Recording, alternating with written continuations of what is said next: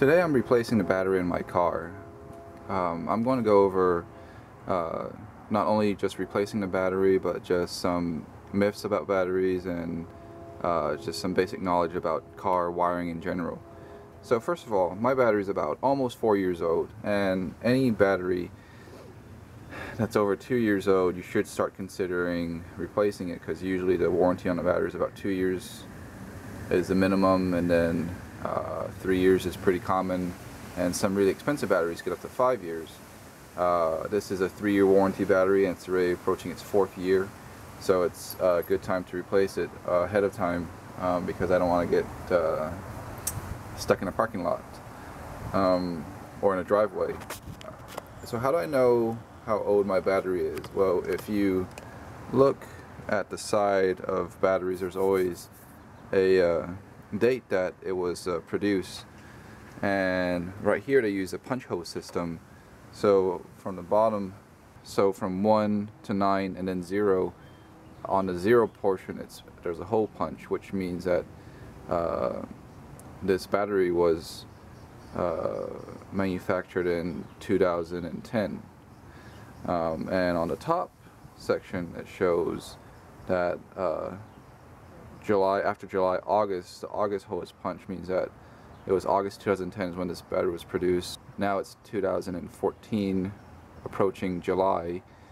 Uh, so it's about four years old battery and it's a good time to start replacing it.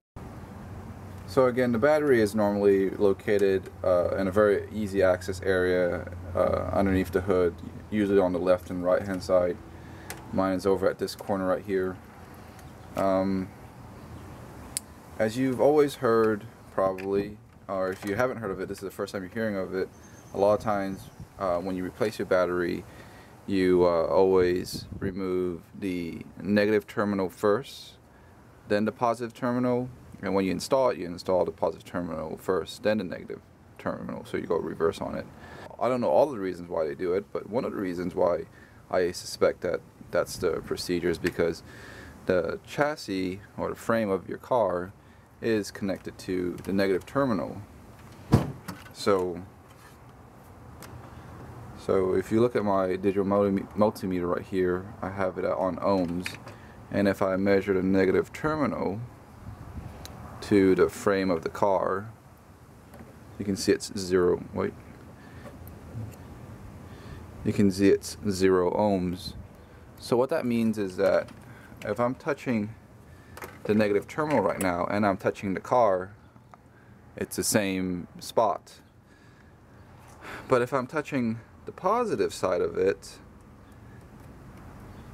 and the chassis of the car, then I complete a circuit. So if I'm le leaning on the car, I'm, I'm most likely going to be touching the frame of the car uh, you don't want to complete a circuit. Now, 12 volt battery isn't enough to kill a person because you need, uh, if you do a little bit of Google, you, you know that you need 10 milliamps of uh, current uh, to go through your heart to, to, to kill you. So the lowest resistance your body can be is in the thousand of ohm, like uh, a couple of k ohm resistance. So if you do the math, you can you can see that uh, 12 volt batteries uh, don't do anything to you. In fact, I can right now touch both leads right now, and as you can see, I'm touching the both positive and, and negative leads, and I'm, I'm fine. So the second reason why you want to do the negative first is because since the chassis right here is ground, and my ratchet right here here is conductive, if I'm starting to mess with the uh, positive side first, I might hit somewhere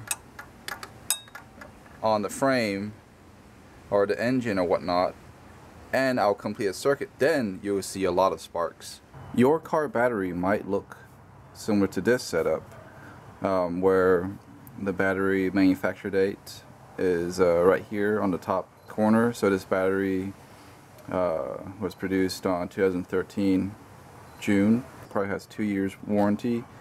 So that means that uh, still got uh, another year or so before I need to start worrying about this battery.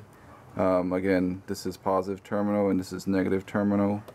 So you can see a plus right there, it says positive and red wire indicates that's positive.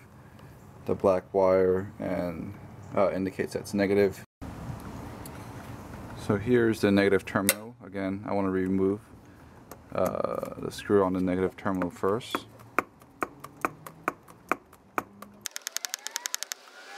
And you'll see sparks, by the way. I don't know if I can reproduce some sparks. Yeah, do you see right there? You can see some sparks, but of course, it's completing a circuit. It won't harm you even if you touch the lead. It looks scary, but it doesn't harm you at all.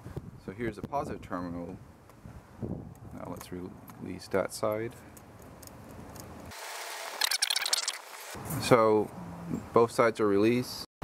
So in order to secure the battery so it doesn't move around, mechanism on the car. So for this one, it's the Buick Century, it's all the way at the bottom. And all you do is just release it.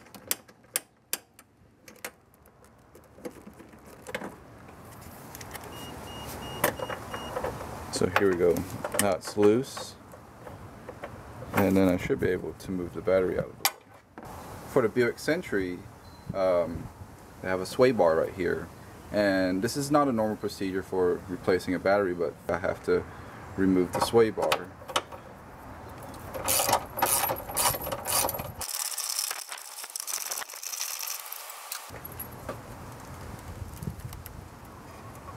So now the sway bar is out of the way, I can now pick up the battery.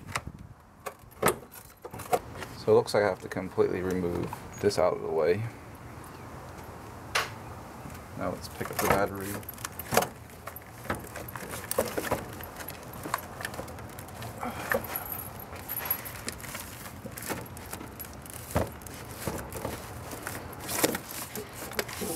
Here we go. So you always want to inspect the terminals. As you can see, both of these terminals are in good condition. There's no white powder or corrosion on them.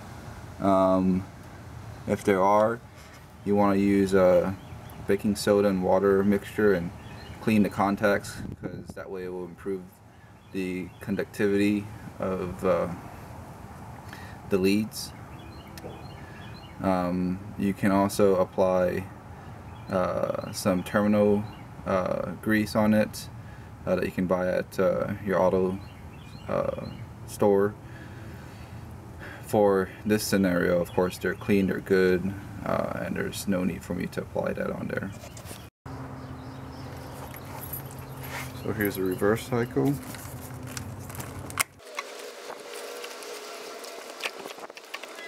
Let's install this first.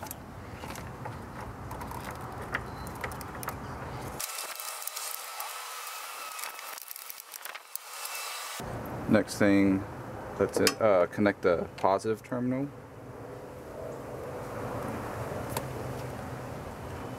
After it's hand tight, I would normally just do uh, a decent tension. You don't want to overstrip it. And then now the negative side, of course, you're going to see sparks.